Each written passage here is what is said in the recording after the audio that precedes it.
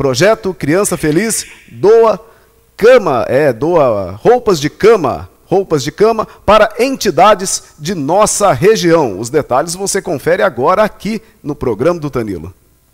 O projeto Criança Feliz de Siqueira Campos, coordenado por Giovanni Santos, desde a sua criação, vem realizando um trabalho social que visa atender famílias carentes, hospitais e entidades como asilos, com as mais variadas doações. O projeto, que conta com o apoio da comunidade, comércio e indústria siqueirense, Norte Pioneiro e Capital do Estado, conta com em torno de 15 pessoas que trabalham diretamente e mais voluntários. O projeto dispõe, entre outros, de um bazar com em torno de 50 mil peças de roupas, que são doadas todas as quintas-feiras para os siqueirenses. E, recentemente, várias entidades de municípios do Norte Pioneiro foram beneficiados com em torno de 3 mil peças de roupas. Todos os sábados, a equipe vai à Feira Livre de Verduras, ao lado da rodoviária, e recolhem doações que são distribuídas às entidades. Esta semana, o grupo está trabalhando na separação de quase mil peças de lençóis e fronhas. Segundo Giovanni,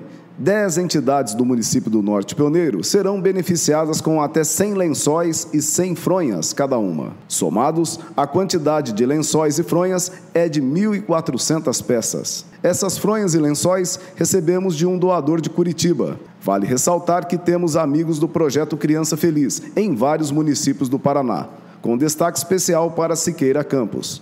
Este trabalho maravilhoso só é possível porque temos como parceiros pessoas muito bondosas, ressaltou Giovanni.